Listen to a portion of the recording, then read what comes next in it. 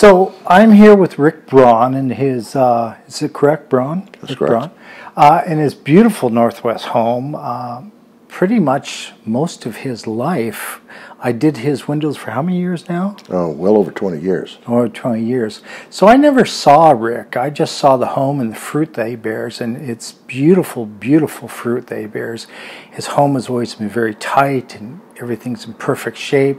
And so even though I never knew the man, I saw the fruit of the man, and I was always very impressed with you, very impressed. So how in the world did you, you become, you've been a pilot most of your life. Right. Okay. How did you end up becoming a pilot? Did you know someone? Did you, I mean, how? What's your story? I did. And uh, it was uh, a United pilot back in Southern California. It Was he a neighbor?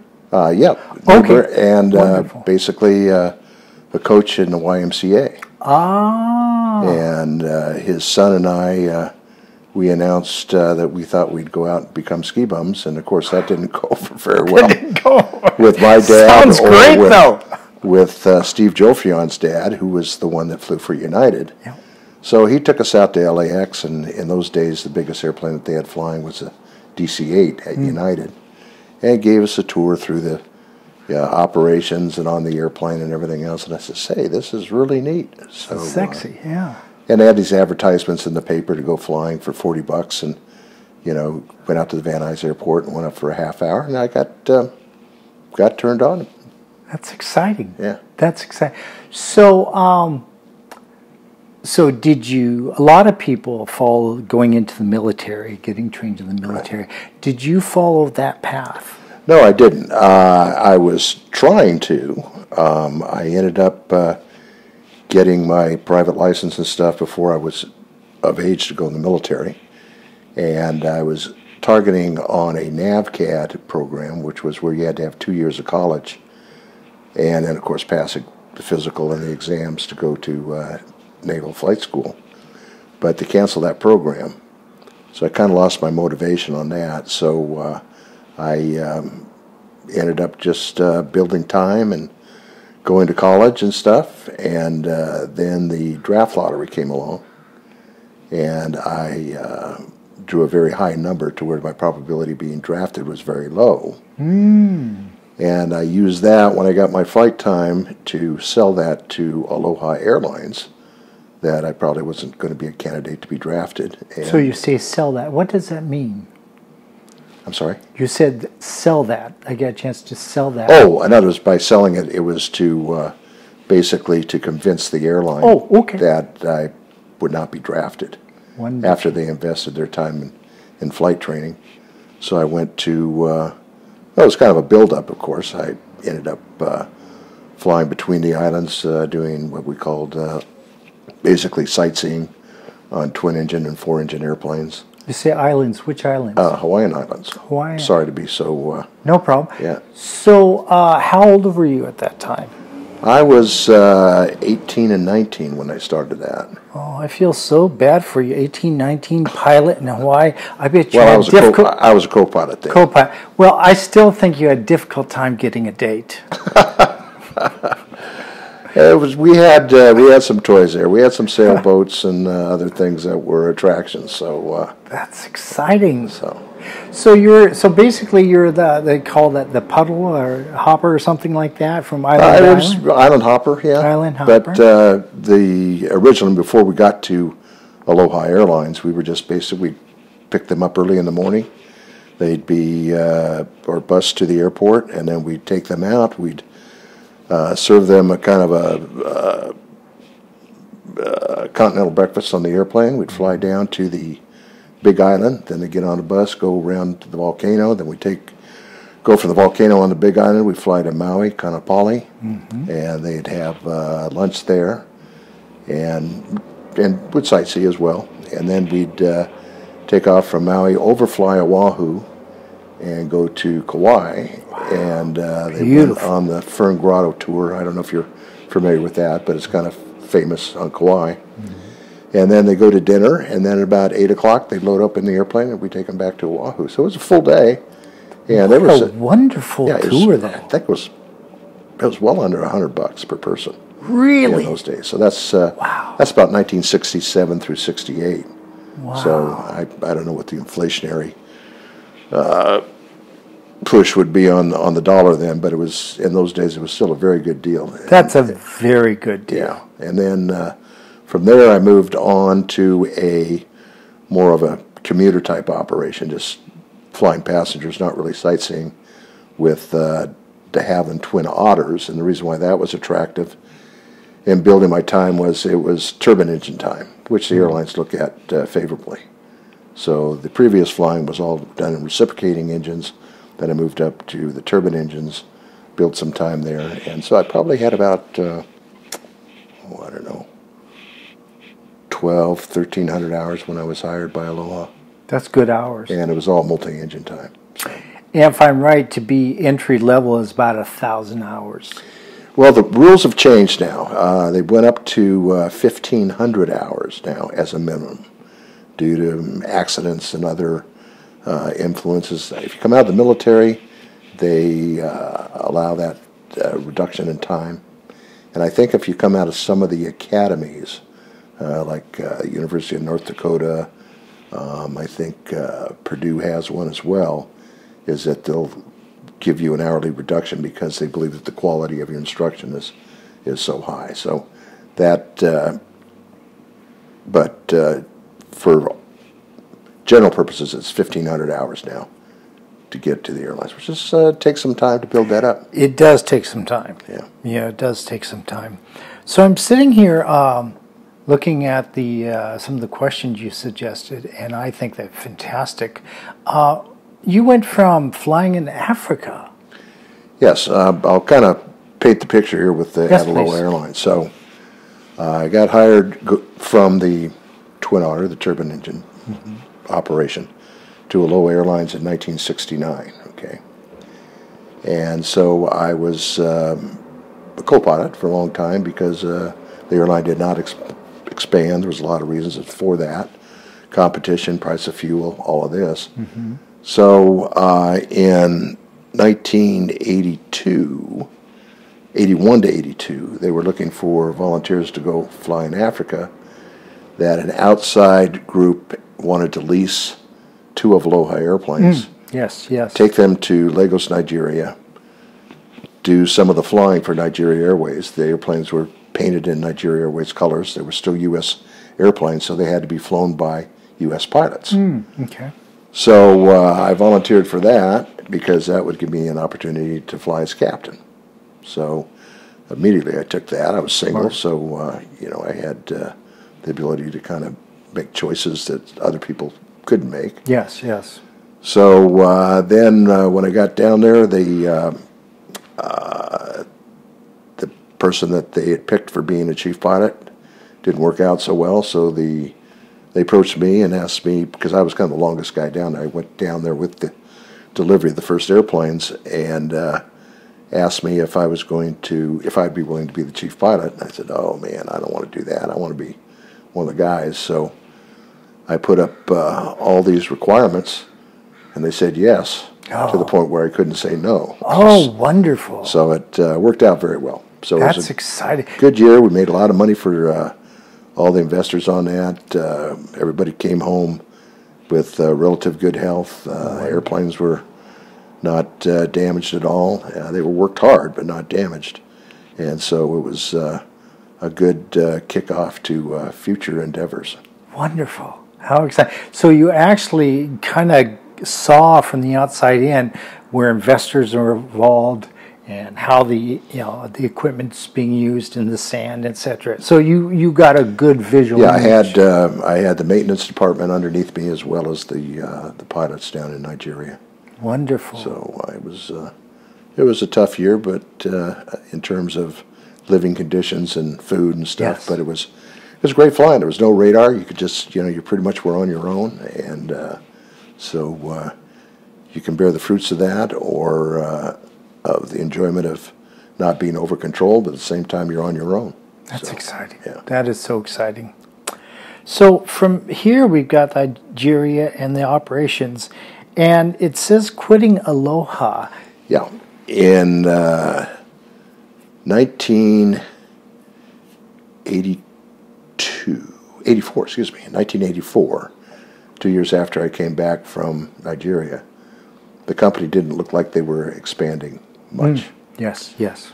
So I was getting itchy feet, so I went to, uh, prior to quitting, there was an airline starting up in Hawaii called South Pacific Island Airways with 707s. That's a small plane, right? Very small. Uh, 707 is a big airplane. Oh, it is. Okay, thank Yeah, you. Yeah, it's actually bigger than the 737, 727. Oh, I didn't know. It's uh, it was kind of the uh, well, it was the first Boeing jetliner that was so successful. It went to Pan Am, TWA, uh, United. So it was uh, it was long range, coast to coast, over to Europe, uh, nonstop to Hawaii. So it was a pretty, Pretty big. sizable airplane. Lots of fuel. Uh, yeah, weighed about three hundred thirty thousand pounds. So it was a big one, about uh, three times the size of the original seven thirty seven in terms Wow. of weight Right, right. based upon weight. So I thought that would be uh, interesting. So I decided I'd uh, made some pretty good money down in Nigeria with the bonuses. So I invested in getting a 707 license at. Uh, let me reverse this. Yeah, well, a 707 license at uh, at American, where they had done their training, and uh, it didn't uh, quite work out. They came back eventually asking for me. By then, I'd already moved on, Right. and right. so uh, that was uh, another little footnote in the. Uh, and the journey. Well, I find out most people they kind of have to zigzag to the end result. that's right. No, and the zigzagging actually was uh, the reason that Boeing hired me. I had uh, got to back up again, if you don't mind. Take your time. is that uh, we were so suc successful with our uh, 737 operation uh, in Nigeria that uh, the company bid on the 747. And we got the 747 bid. And then, uh, so I went to training up in London on the 747 myself and five other guys. And uh, we were going to be, uh, hopefully, with a contract to fly the 747 for several more years. Well, the corruption in Africa was huge, and Oh. there was payoffs and everything else. So after we got trained and everything else, uh, the contract was awarded to somebody else. So uh, came back uh, uh, to Aloha. So, but in the interim, I picked up uh, basically. I of course had to have my 737 type rating, which is captain's license to fly Right. for Aloha that way. Uh, while I was down in uh, Africa, uh, I picked up the 747 rating and then the 707 rating for that uh, SPIA outfit. So I had three Boeing jets uh, on my license. Wow. And I had uh, always wanted to go to work for the manufacturer. Really? And so I, uh, Why is that? I've got to ask you. Well, I just thought it would be exciting to fly new airplanes and all the different types of airplanes. Yeah, and, all the time. and uh, you know, there's several different uh, organizations that you can be in. You can be the in the instructing uh, end. You can be in production tests. You can be in engineering tests. That's where the you know the uh, Tex Johnsons are, and the Right. you know the Chuck Yeager types are Yes, at that yes. end of the, the spectrum. So there's a lot of entry levels there. So um, I ended up getting a very nice letter back from Boeing, and it was probably the nicest letter I've ever had saying that you're not qualified. so I was expecting I'll the never- exact opposite. I'll, I'll never forget that. it was the nicest turn down. huh? Yeah, and the, the gentleman's name is Al Jones. Unfortunately, he passed away a, a couple of years ago, but uh, I, I got to meet him later Right, on, right. and uh, I told him that uh, same story that I just told you. So, um, in eighty, well, when I quit Aloha, jumping around here a little bit. My apologies. That's fine. But when I quit Aloha, I uh, had the bug to uh, uh, start an airline. So I had some money in the bank and stuff, and so I decided I'd uh, give it a go. With up, your own money. well, just for the initial, just gathering the- the attorneys together and some other people. Right. Getting, yeah. And I was able to get uh, the pump. Yeah, I was able to get the uh, investors in the Nigerian operation to, to take a look, and we were looking at a sale of an airplane to generate uh, some significant capital, at least a million bucks, to kind of be our uh, initial startup money. And that's low. Uh, that wasn't a loan. That was out of the sale of an aircraft. I, low is one thing. Low investment for the yeah, airline yeah, yeah. Oh, it's just just starter. It's a Pennies. build up to it. Yeah. So uh, unfortunately, that sale fell through uh, due to the uh, demands of the broker. He wanted all of his fees up front, and we said no. We'll pay them to you amortized over the lease of the aircraft. And, Right. uh, I don't need to go into all the details, but it fell apart, and uh, so uh, eventually, I personally ran out of money in trying that venture. So I uh, aborted that, and I was picked up by. Uh, Air California after they'd been just bought out by American Airlines. So while I was in ground school at uh, American Airlines slash Air Cal on the 737, um, I got an offer uh, from Boeing at uh, well several times the salary. But there was a big spat between AirCal and American on seniority lists, and seniority is your lifeblood in the airline business. Oh, okay. Everything goes by seniority. Your your seat with your co-pilot captain, type of equipment you're on, to your days off.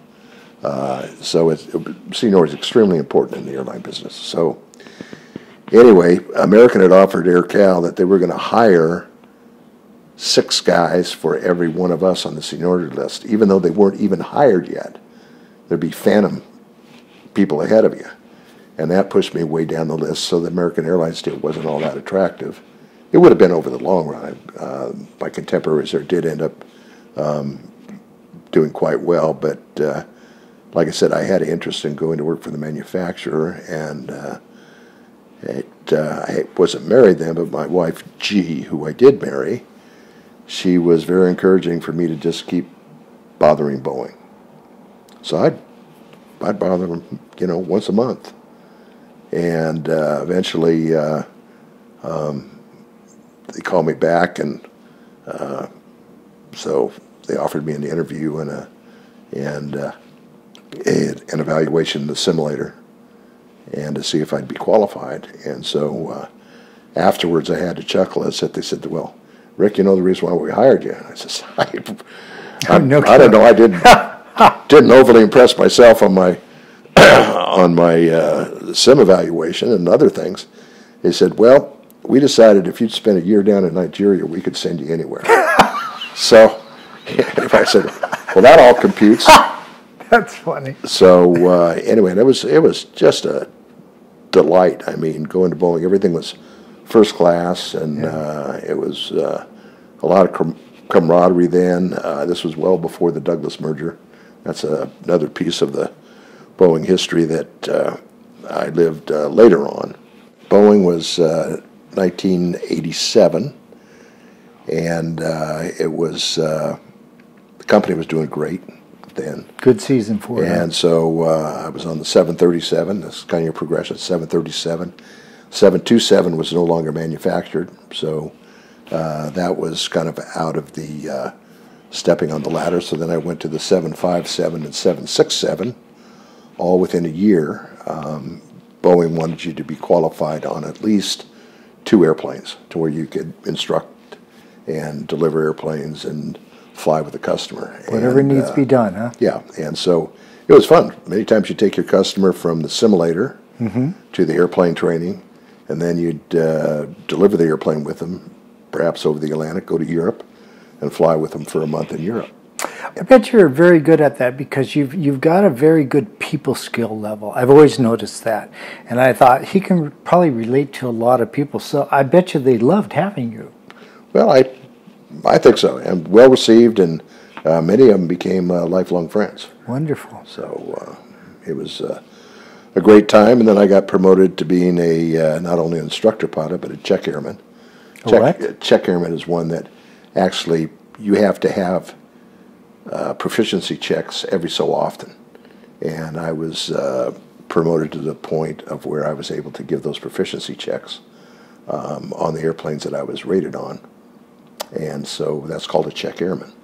Interesting. So uh, I finished my first tour at Boeing. I actually was hired by Boeing twice.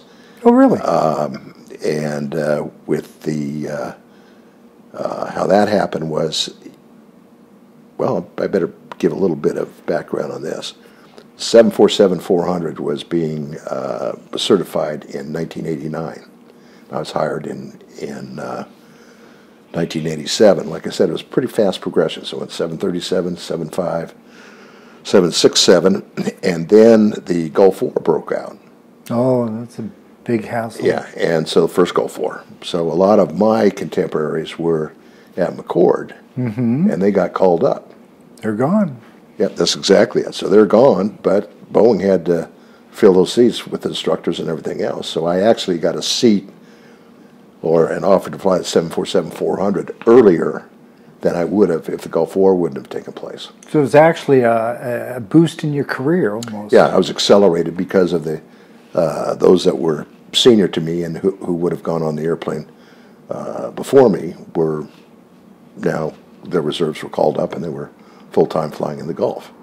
Wow. So uh, what an opportunity. yeah, it was, it was great. So uh, ended up uh, working with several customers, and then uh, I actually helped uh, Asiana in uh, the 767 airplane training and checking. And then I also helped them on the 747. And then they asked myself and, well, several of us, only two of us took the offer, myself and my close friend Jack Arnold. Uh, we ended up uh, accepting the offer to go to Asiana Airlines to uh, fly the 747 and to help train and check their their people over there. Mm-hmm. And uh, they tripled my salary from what I was making at Boeing. Boy, that's a good day. It is a good day. So, uh, Times three. but Boeing had treated me so well, and I'd Right. uh, only been there now five years. And like I said, I was promoted rapidly. Mm-hmm. You know, I, I did owe them at least a thank you. So I went to my boss and uh, I told him what was going on. He said, Well, thank you for coming in. He says, You know, of course, I can't meet that offer. right. And I right. said, I, I know that. that but was- I'm sure he was grateful that you yeah, came in. Yeah. So anyway, that was not the purpose of it to try to squeeze Boeing because it wasn't going to happen. But the uh, idea was just the you know professional courtesy. of- Yes. And uh, yeah, and that's and so important. great guys. In fact, a lot of those guys are friends of mine to this day. So uh, anyway, is that? Uh, but he said, you know, if it doesn't work out, you always got your job back. Well, Ah, li- little, lovely. little did I know that I would actually come back some ten years later. But uh, anyway, off to Asiana, became the uh, chief pilot for the uh, foreign pilots there. We had, uh, oh, I don't know, at least, uh, so we had the uh, South Africans, we had the British, of course, we had the Americans, and uh, we had the Malaysians coming up. So I had uh, four or five nationalities that I had to deal with and stuff. And Wow. but they were all pretty good guys. So on the 747 fleet, we had uh, um,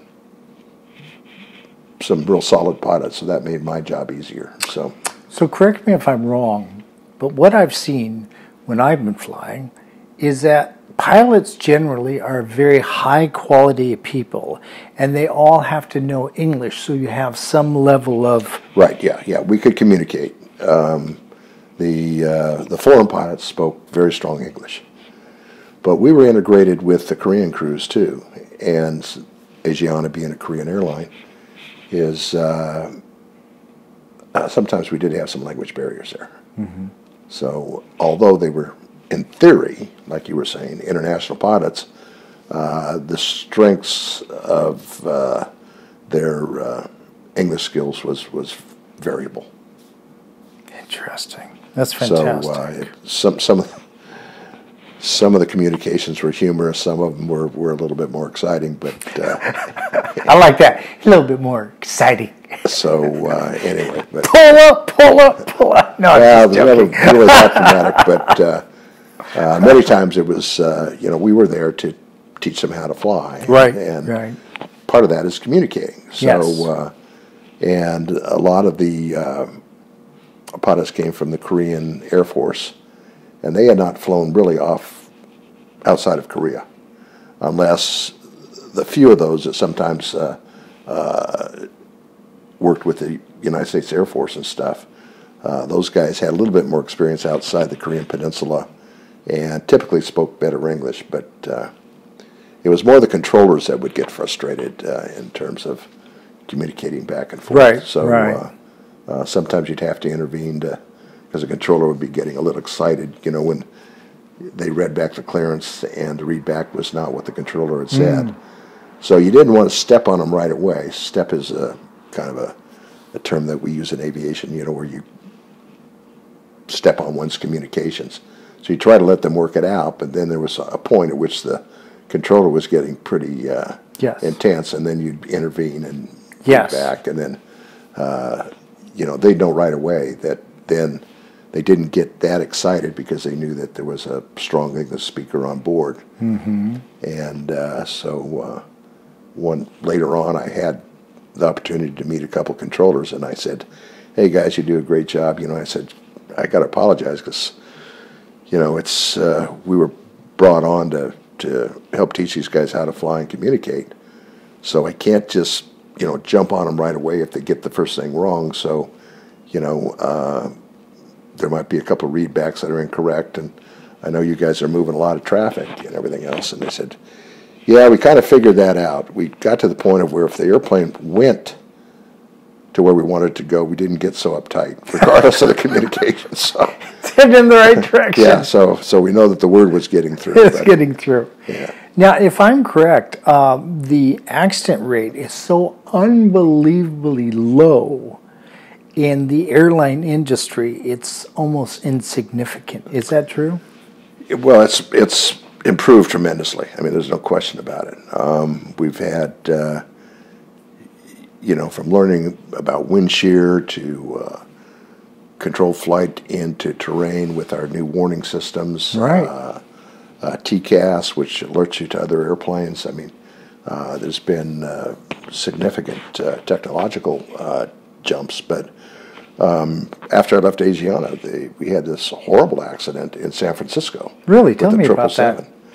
Uh, it was uh, it was some of the similar problems that we had noticed uh, before, Mm-hmm. and uh, on the 747. Um, the pilot going in San Francisco, he had flown into San Francisco on the 747, was now getting checked out on the 777, which is a newer, later airplane, as you know. And uh, anyway, is that he was under uh, supervision of an instructor pilot Mm-hmm. or check pilot, I don't know which, but anyway. Uh, and uh, so they were going into San Francisco, beautiful day, but the ILS, the Instrument Landing System, which gives you the glide path to the runway, was out of service. Oh. So, but they still had a visual. I mean, what you Right. have is you have your electronic from the inside, Right. but you, so you could couple it, hook up the autopilot to fly that beam down to the runway. Okay. But with the ILS out and the VASI there, which gives you basically red and white lights to tell you whether you're on, on path or not, you can't lock your autopilot onto that, so you'd have to hand fly it. So he um, was uh, apparently quite nervous about the fact that he had to hand fly it, and uh, they end up uh, hitting the uh, the bulkhead on the runway. You know, San Francisco Airport On the goes- incoming. yeah, goes into the Right. water. So the breakwater there, the Right, bulkhead or breakwater, right. they plowed into that, and the airplane was destroyed. Oh no. Yeah, it was So a- just turned it nose down. Yeah, beautiful day, nothing wrong with the airplane. Right. You know, it just uh, appalled the industry that uh, an accident could happen uh, like that on. How consider- horrifying. How horrifying. So it was. Uh, uh, it was really an eye opener, and like I said, the safety record around the world has been great. Uh, there was uh, a time that uh, um, the U.S. considered uh, uh, not allowing the Korean airlines, Korea and Korean Airlines and Asiana Airlines, to fly into the U.S. because of some of these accidents. But uh, you know, Korea is an important ally, so there was a lot of State Department stuff and everything else. So um, they ended up getting some help from major airlines, Good. and good. Good. uh, good. they uh, they certainly improved the environment. So uh, the safety record of the Korean Airlines compared to uh, uh, the U.S. or to Australia, which has one of the, probably the safest in the world, and the European airlines was really quite substandard. So anyway, it it was an interesting, challenging time, and some wild stories that I only like to tell when I'm with other people that had flown down there because Yes. they sound so incredible. Yes, yes. But not not in terms of uh, you know really uh, dangerous stuff. Uh, some of it was, but not a lot. The other part is just more humorous too. So anyway, I'll leave it at that. So I stayed uh, there for five years, and uh, back around again, going back to Africa now. Back in Africa. One of the investors came back and says, "Hey, I'm thinking about starting my own airline." And you always, you know, he knew that I had made an attempt at it. Now, if I'm right, I was washing your windows at this time about. Yeah, you would be. Okay, I, because your wife was mentioning some things. Okay. Yeah. So uh, anyway, and that that's more than 20 years now. Really? So anyway, is that uh, um, Kevin Stamper is his name, and uh, he asked me if I'd be interested in helping getting an airline started. And I said, of course, Kevin. I've always kind of dreamed of that. And he says, I know. That's why I'm asking. And so uh, this time there was some real money involved. Uh, his father was the president of the Boeing Company for over 10 years. Really? And he came from the automobile industry out of Detroit. So we were able to get some investors uh, out of Detroit. Uh, Very high, high quality people. Yeah, Chrysler, General Motors, and all that. And uh, so they invested, uh, as well as the UAW, United Auto Workers. And uh, so we re- had some real money. So along the certification process is that um, we had to make a huge change. You'll note on my notes that I gave you as I said two crashes that were significant in ProAir. This was the name of the company that we flew. The original idea of Pro Air was to fly uh, NBA basketball teams. And uh, that didn't quite work out, but we just, the name stuck, so we stuck with Pro Air. It's a good name. So anyway, we'll uh, back up to the certification process. So about about halfway through the certification process, ValuJet. I don't know if that rings a bell to you. No. Probably it's more of a, you know, if you're in aviation, you'd probably recall this one. And we had a crash in the Everglades, but uh, the um, it was very nasty. Lost everybody on board Oh, no. but uh, the FAA got a lot of criticism for certifying all these startup carriers with old beat up equipment. We were kind of going down the same path with older 737s, and uh, uh, we felt that the appetite for the FAA was just not there. Okay. So between Malcolm Stamper being the past president of Boeing, he ended up working a deal to where we ended up with two brand new 737s Really? uh, the last of the line on the 737-400. And this was certainly a paradigm shift in the uh, the way that the FAA looked at us and certification. The other impact of that crash was the bar for entry for our airline certificate went way way up. Oh, okay. And I have to compliment the Seattle FSDO Flight Standards Dis- District Office by the principals, the inspectors that they gave us were very, very competent and very helpful to help us navigate through it. So uh, we ended up getting our certificate in about a year and a half. And uh, so um, it was, uh, you know, all the learning curve of a small airline. You know, you didn't have the, you know, one airplane gets pulled out for some reason. I mean, eventually we only had four airplanes. Yeah. So that's 25% of, of the fleet is down. Um, we uh, unfortunately had some ground equipment run into uh, one of our airplanes, so that was grounded for several days while we repaired that.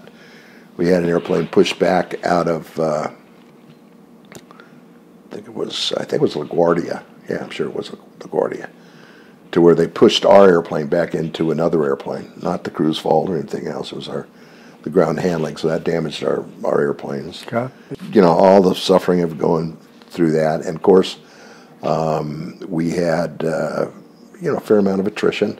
You know, airlines were flying, so basically by hiring the guys, getting them qualified at Pro Air, checked out on the 737, is that they actually, you know, upped their uh, their resume and their qualifications, so they rightfully so went off to other airlines and Sure, stuff. sure. So there was there was a constant uh, Flux. flow of, of new pilots coming in, and very expensive, you know, when that happened. So we had crewing issues and everything else, but it was it was a a challenge, and we were uh, starting to do fairly well, fairly well, not fairly well, fairly well, in um, uh,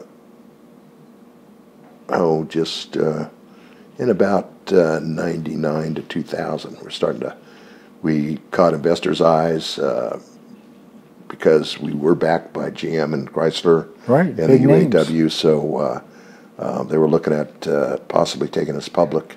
Hmm. And uh, so, anyway, is then along comes the, you might remember this one, the Alaska Airlines crash off of California.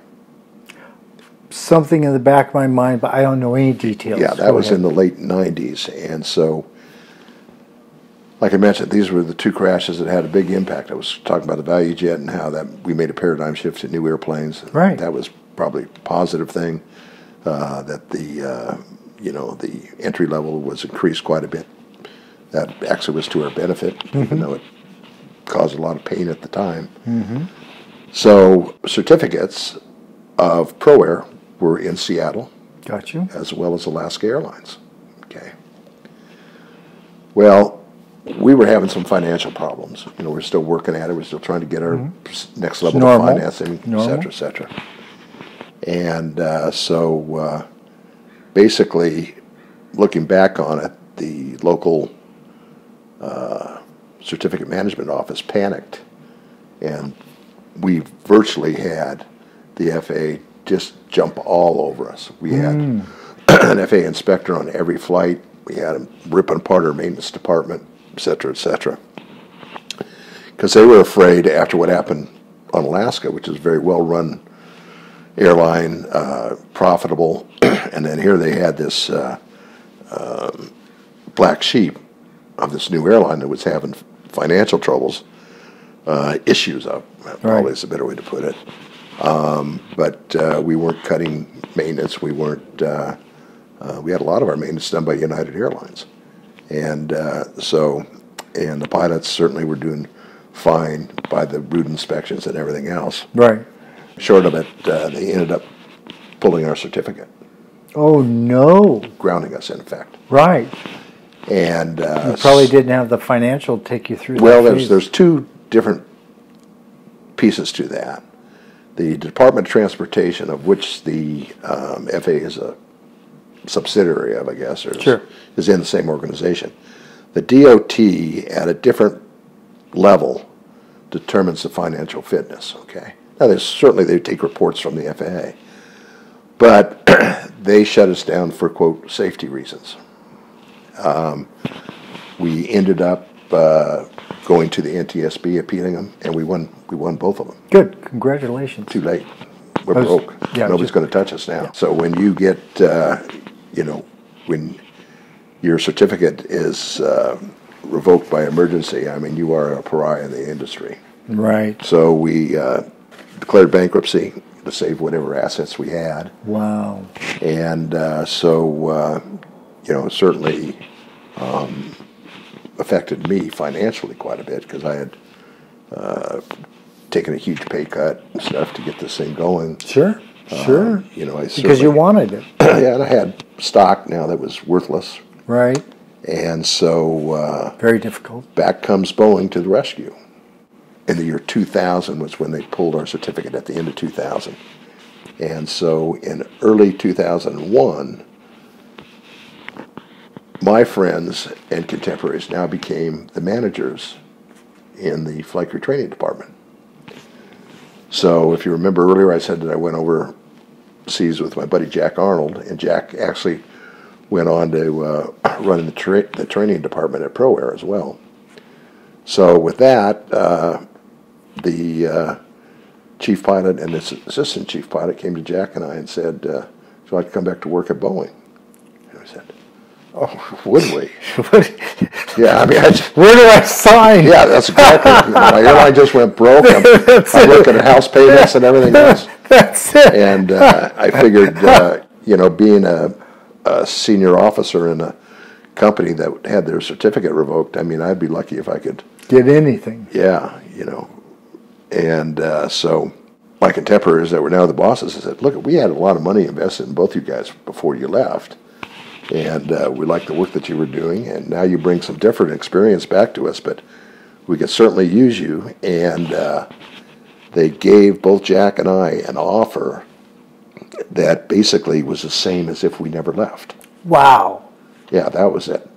I've always seen Boeing as a wonderful company. Yeah, so uh, that was, uh, That's incredible. in fact, a funny anecdote about that is that uh, they said, uh, "Rick, we'd like to take you out to lunch and you know discuss uh, discuss an offer."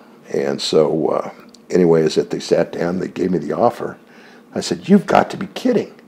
You know, You're like shocked. Yeah, but you know, when you say it that way, you've got to be kidding. It's like it's too low. And I instantly realized, looking at their faces, I said, "No, no, no, no, guys, this is more than I ever expected." Never dreamed of. That's yeah, and I said, and by the way. I've got lunch. But uh, so anyway, and then uh, went back to the uh, Boeing, which I'll call my second tour of Boeing. Yeah. And uh, so I was working my way up again. Um, well, actually, no, I did stay on the 747 because we brought a lot of experience on the 747, both Jack and I.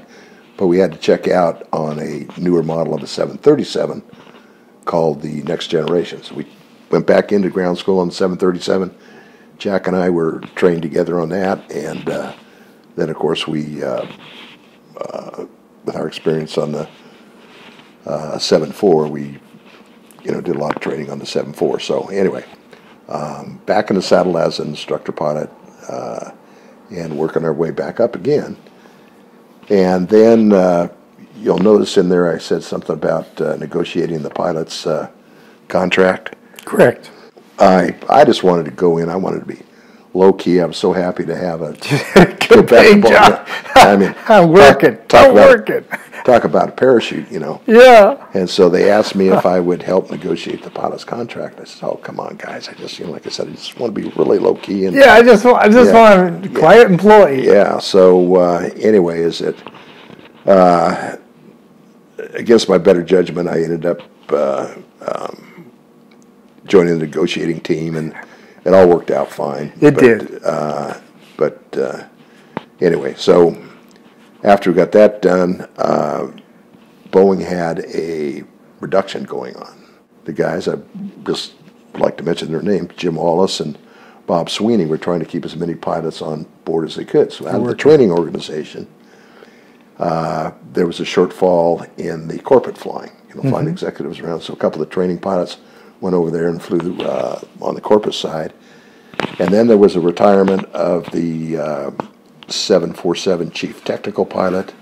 The offer came up, uh, and lo and behold, uh, we were asked, Jack and myself, whether we would be interested in it.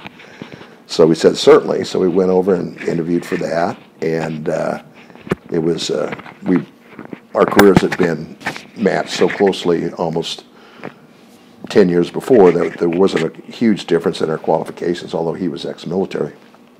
And uh, so uh, we get in front of uh, John Creighton, who's the boss, and he says, Who wants a 757? Who wants a 747? Well, we both raised our hands on the 747. So we flipped a coin, and I won the toss. So I became the 747 chief tech technical pilot. How wonderful. And uh, so that uh, is a jack of all trades. It was a lot of fun. We ended up uh, um, working on a project. In fact, you see the large cargo freighter up there, that model? Yeah.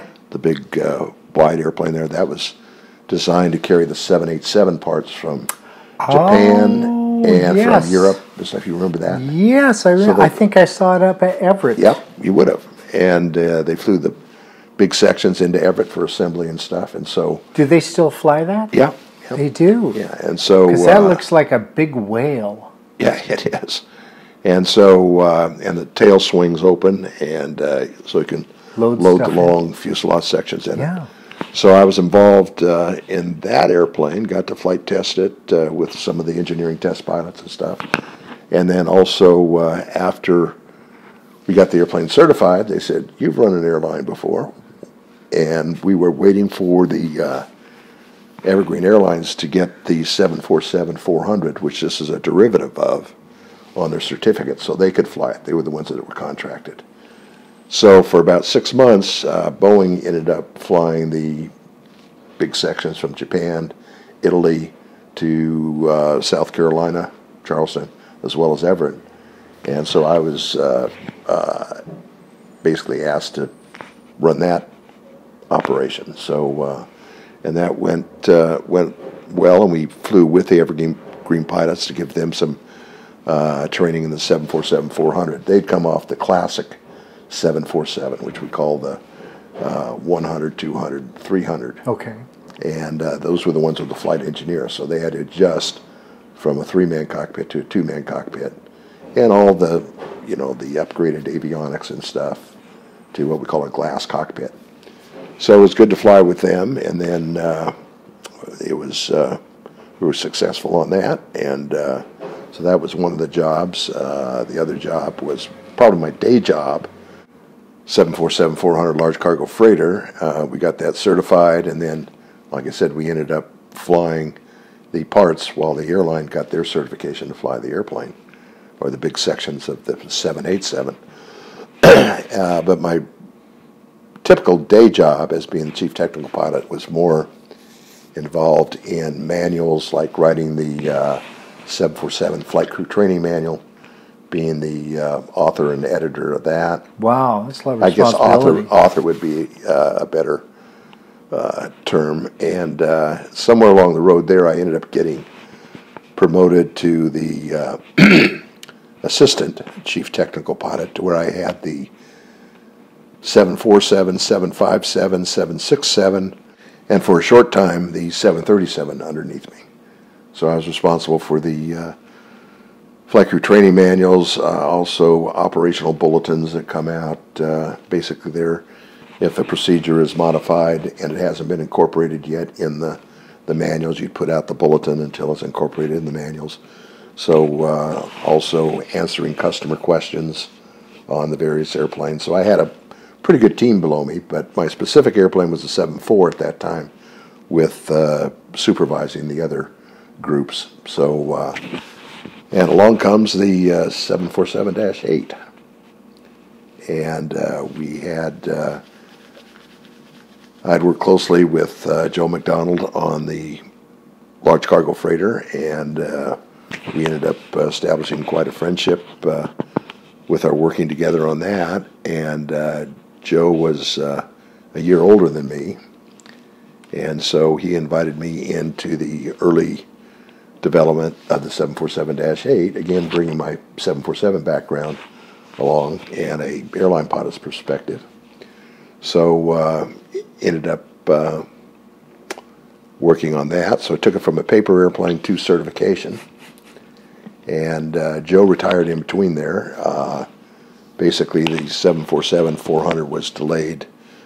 Uh, excuse me, the Dash 8 was delayed about a year and a half. The 787 was delayed almost at least two and a half years, if not 3 Mm-hmm. And so he decided he was going to retire. So you had your option to go out at 60 and get your two years extra pay that I mentioned earlier. I don't know if that's on tape or not. No, you can go ahead. I'll go back and explain that. At Boeing, we had to retire by 63. And if you had 10 years or more experience as a captain at Boeing, you could retire at 60 and they would pay you two years additional oh, pay, Wonderful. or up to 63 and two years of additional pay, which would take you to 65. The airlines would allow you to fly to 65. So Joe opted out on his 60th birthday, got his two years there. So uh, Joe was replaced by uh, another great uh, chief pilot on the 747 by Mark Feuerstein. So Mark continued uh, with uh, Joe's philosophy of of keeping the technical pilots very much involved in the in the 747-8 program. So uh, I ended up uh, working closely with Mark and the customers. Our our launch customers were uh, Cargolux, All Nippon Cargo, or excuse me, Nippon Cargo, and Cathay Pacific, and they were just great customers. So we dealt with them quite a bit, trying to uh, incorporate their recommendations as much as we could. And so it turned out to be hard work, but uh, a lot of fun. And then I was assigned to have the first flight on the second 747-8 that came out of the factory. Really? So the chief Brand pilot new. Took, chief pilot took the first one, Mark Feuerstein, and then uh, myself and Kirk Vining took out the uh, the second one. I was actually a co-pilot on that. You didn't scratch the paint, did you? No, we didn't scratch the paint. so uh, I had a very successful flight, and then uh, worked that uh, through. Now the airplane has just come out; it's not been certified yet. you know, Right. so there's a lot of uh, testing that needs to go go on that. So I was invited to do uh, about 250 hours worth of testing on it. Uh, some of which I was a captain on the airplane. Um, ended up doing what we call uh, certification testing with the FAA actually in the airplane.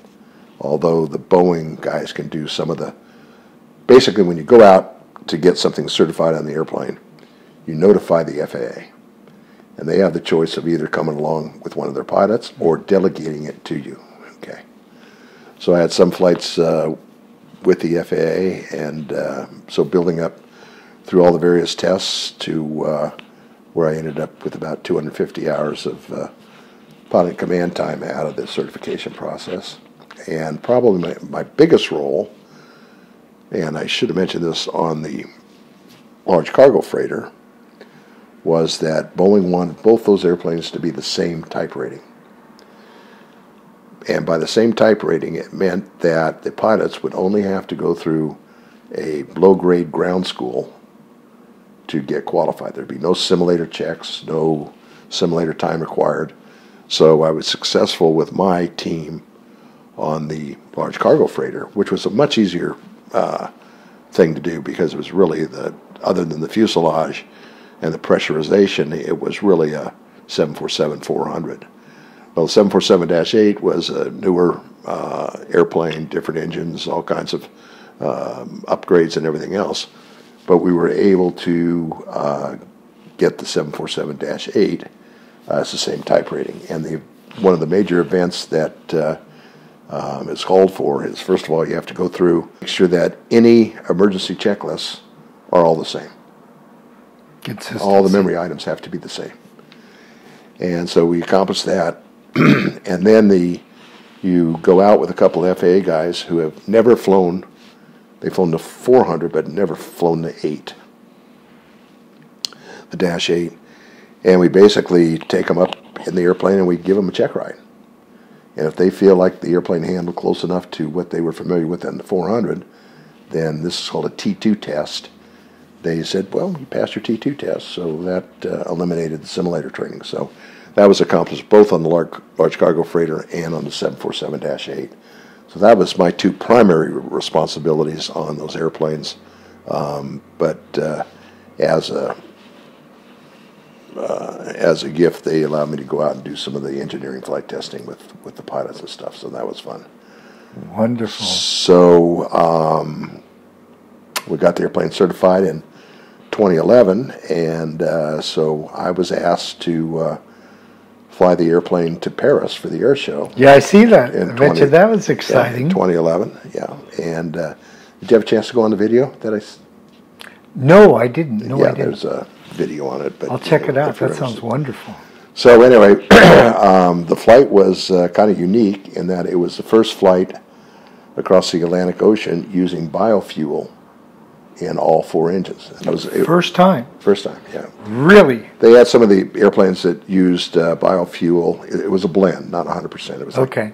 10% blend uh, in like one engine. But this was the first time they'd done it in all the engines. So that was one of the things that uh, we left Paine Field, Everett, and then flew it to uh, uh, Le Bourget. That's about France. seven, eight hours. Yeah, Yeah. and uh, had an uneventful trip and. Uh, Stayed up in the air. Yeah, spent two days in Paris, and then we flew the airplane down to Luxembourg because they were one of our launch customers, to where the uh, the airline could see their new airplane, and uh, so it was a wonderful trip. So uh, that was in um, June, July of 2011, and I took my last flight in uh, October In October. 2011 on a 747-8. That's exciting. So that was the wrap on my Boeing career. So, out of curiosity, um, everyone's always interested. Uh, I don't mean to be materialistic, but but you also built a home in Jackson Hole. Right. Yeah. I went there once. That is amazingly beautiful. Oh, it's gorgeous. Yeah. Now, I'd never been there before. I had my e-bike there. It's just amazing. So, um, I mean, you've been all over the world. You live here in Seattle. You have a place in Jackson Hole. Is that like two of the most beautiful places in the world? I think so. I mean, I'm very lucky on that. Just give me the mountains and the ocean, and I'm ha- I'm Yeah. happy. Yeah. Uh, I mentioned earlier on about my ski bum roots, Yes, and yes, so I yes. continued to ski throughout my uh, uh, my flying career. And in fact, early on at Aloha, when we were laid off uh, in the winters, um, I'd get you know a full season in skiing. I actually ended up being a ski patroller, a professional ski patroller up at. Uh, Pro Patrol. yeah, Pro Patrol at Heavenly Valley, and that was a lot of fun. That's wonderful. So, uh, anyways, it uh, I'd gone through Jackson Hole many, many years ago, and I said, "Boy, I'd always like to maybe have a place here." Yeah. Yeah. So after It's my epic. It's after epic. my uh, African uh, experience, I had a uh, a little bit of money in the bank, and I not only was trying to start an airline, but I decided to I bought a lot up there and. And built a log home up there at the same time. So, How wonderful. so uh, How wonderful. and uh, anyway, so it uh, it's been a great life. yeah, it was great. Yeah. So, uh, So uh, I just want to wrap up with this question. A lot of people are going through a lot of challenges right now, and uh, a lot of people want a better life. And I've I've seen, I guess through discipline, you've got this wonderful life, and you've lived long enough that you know we've gone through different wars and stuff. What type of advice would you have for people on how to think about living now and today? well, probably one of the areas that I think our our education fails us is that um, they really do not educate you all on finances. Okay, that's true.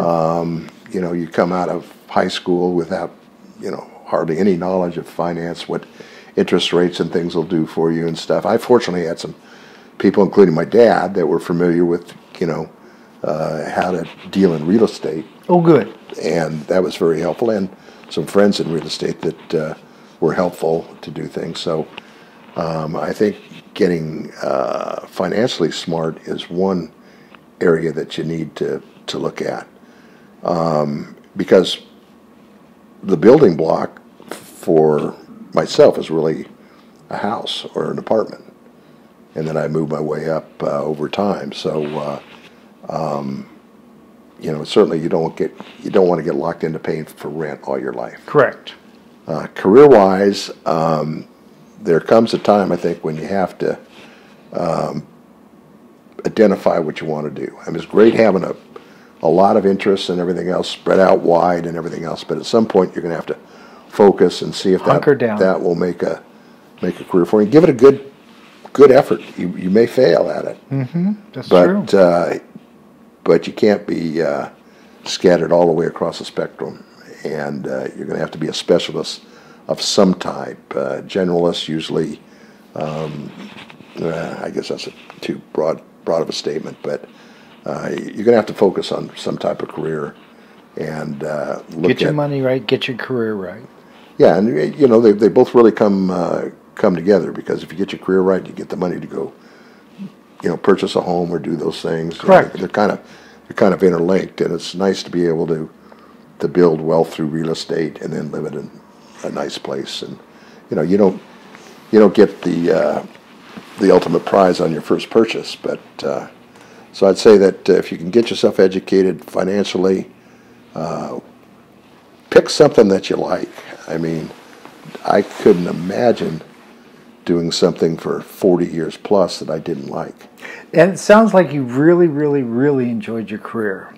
I did, and uh, the you know it wasn't just the flying; it was the people. We had we had some characters. We had some extremely bright people. I mean, um, I was fortunate to really uh, work with some true geniuses and uh, hardworking guys and uh, and gals, and uh, it was uh, it was a more male-oriented time that I mm-hmm. started my career in mm-hmm. and and stuff. But uh, it was good. It was a lot of honesty, a lot of uh, integrity. Like I said, my two friends brought me back, uh, Jack and myself back uh, after our bankruptcy at ProAir. Mm-hmm. Um, there was just uh, a lot of uh, a lot of things to admire about the community as a whole in aviation. So the whole, whole community was very supportive of each other. Yes, it is. Yeah, and even competitors uh, are uh, supportive uh, when it comes down to maintenance or fixing a problem. Uh, you know, uh, it's now they're cutthroat when they compete for passengers. Sure. But uh, when it comes down to the technical engineering, flying safety, right, all of those things are integrated. In fact, there's a lot of uh, uh, committees that are joined. You know, ALPA, the Airline Pilots Association, the, the unions, the big unions like ALPA, like I just mentioned, and uh, American Airlines, uh, their Pilots Association, Southwest, along with the airlines. So the unions and the airlines really meet uh, not adversarially uh, under safety, as well as um, as well as the manufacturers. You know, Boeing, Douglas, and everybody else. So they have a you know there's a lot of activity on the side to where they uh, join join in a common cause. That's awesome. And, uh, and out of that, there's been some tremendous friendships. That's awesome. That's really awesome. Well, thank you, Rick. Rick Braun from the Pacific Northwest here in his beautiful home. So thank you for your time. Well, thank you, Bill. It was interesting. It, I enjoyed it. And uh, so uh, maybe let's take a look at a little clip here, see how it turned out.